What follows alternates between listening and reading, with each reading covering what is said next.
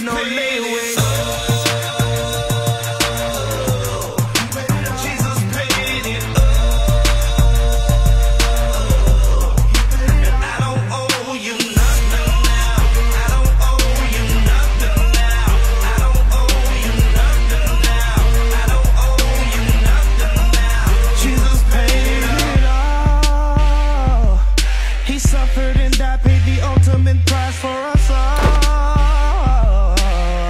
what he did for me. Wonderful Savior.